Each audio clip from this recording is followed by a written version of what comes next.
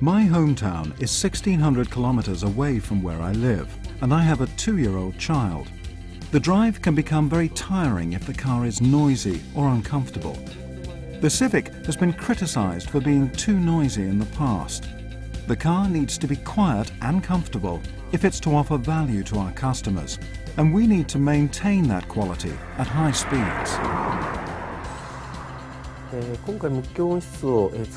On UK roads, we experienced a lot of noise in the cabin, despite the high level of sound insulation.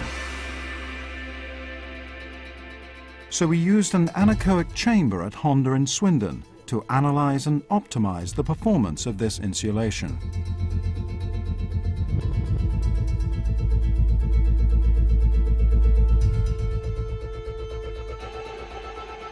Noise are vibration. We did not improve the noise and refinement of the new Civic through just one technique. It was the accumulation of lots of little details. For example, we looked at the material and design of the roof lining and how it meets the bodywork.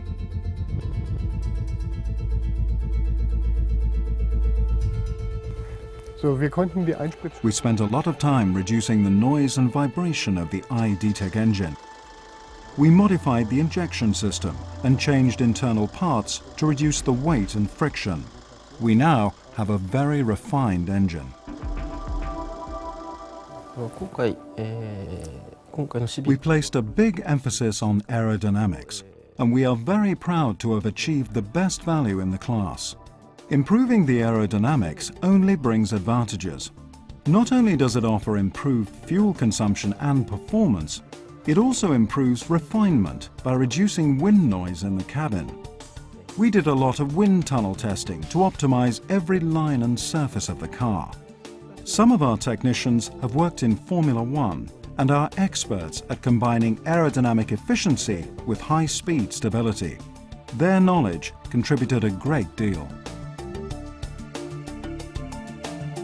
そうですねあの My big challenge was to match the noise and vibration levels of our European competitors.